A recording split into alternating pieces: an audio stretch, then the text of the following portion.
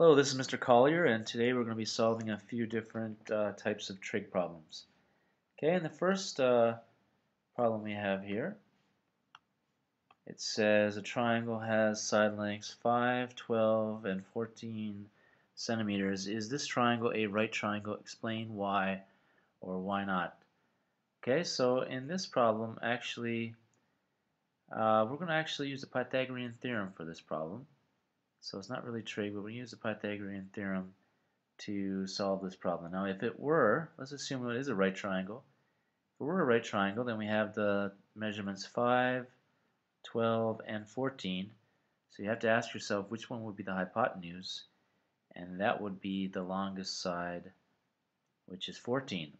So if this is a right triangle, then the, the longest side is 14, so that would be the hypotenuse.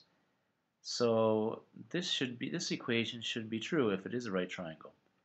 So 14 squared should equal 5 squared plus 12 squared. Okay, the hypotenuse squared should equal the sum of the two legs squared.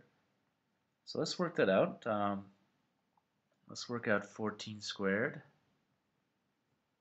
Okay, 14, we can use a calculator. There's our squared button. 14 squared is 196. So let's see what happens. 196 equals 25 plus 144. Okay, actually, let me write it this way with a question mark because we're testing to see if if these two quantities are equal. So we have 196 equals, and this is 169. Okay, so that's actually not equal. So the hypotenuse squared is not equal to the sum of the uh, leg squares, so this can't be a right triangle. Okay, so then we can say, therefore, this is not a right triangle. Okay, so that's how you show if a triangle is or is not a right triangle. In this example here, um, I'm going to show you two ways to do this one. Alright, first way uses trig, so we want to find AC, so I'll call that x over here. And we want to find this out. We're going to need some more information here.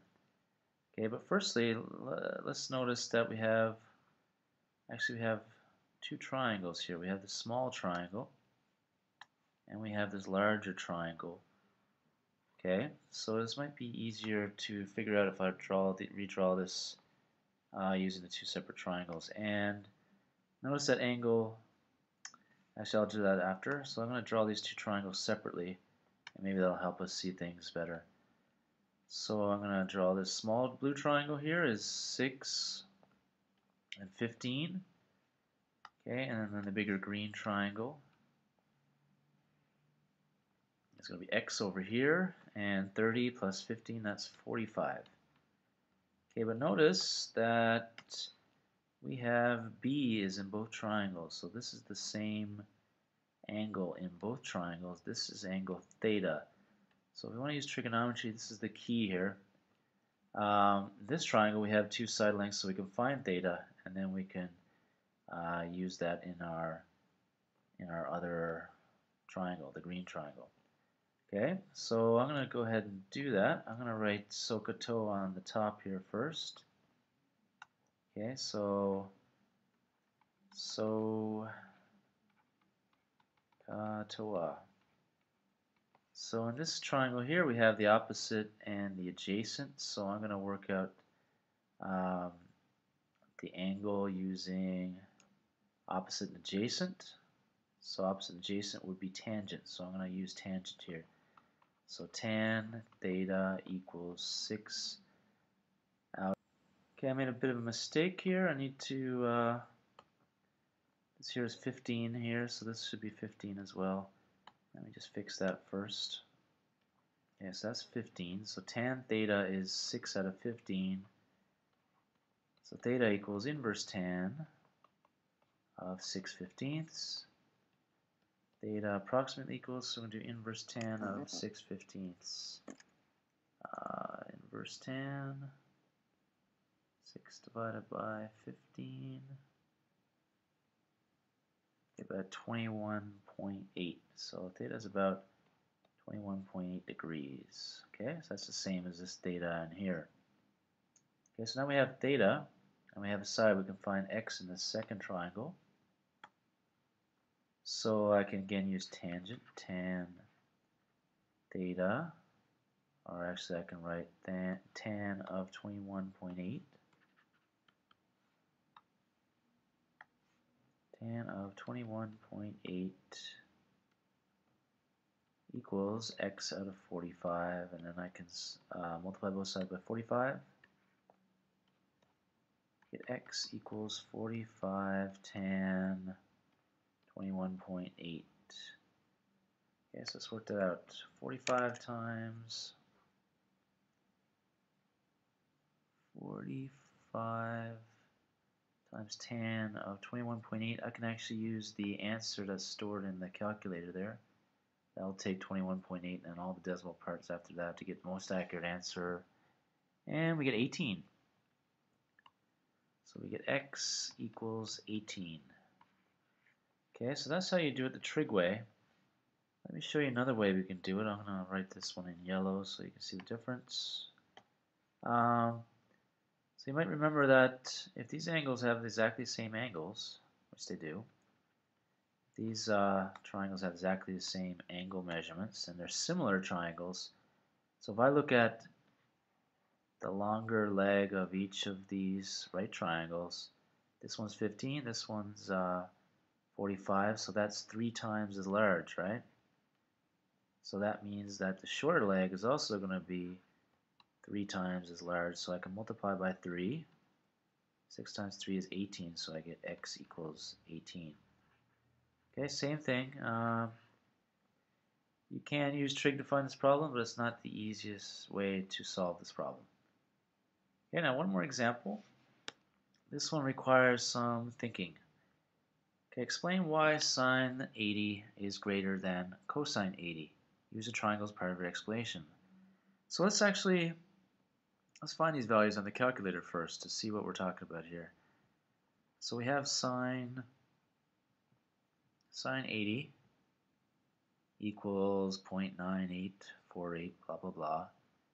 And let's do cosine 80 and let's see what happens. We get 0.1736 and so on. So sine 80 is a lot bigger than cosine 80 and let's uh, draw a diagram to see what's happening here. Okay, so I'm gonna maybe I'll draw I'll draw a diagram in blue or something. Okay, so let's draw a right triangle. Let's try to make a 80 degree angle. So it's going to be very steep, close to a 90 degree angle. So anyway, we'll call this call this uh, the right angle here. Uh, let's let's uh, Let's actually redraw the whole thing. I don't like the way that one came out. Actually, maybe I'll use this triangle tool right here. Okay, so if I have this triangle, and let's call this one over here the right angle, and this one's 80.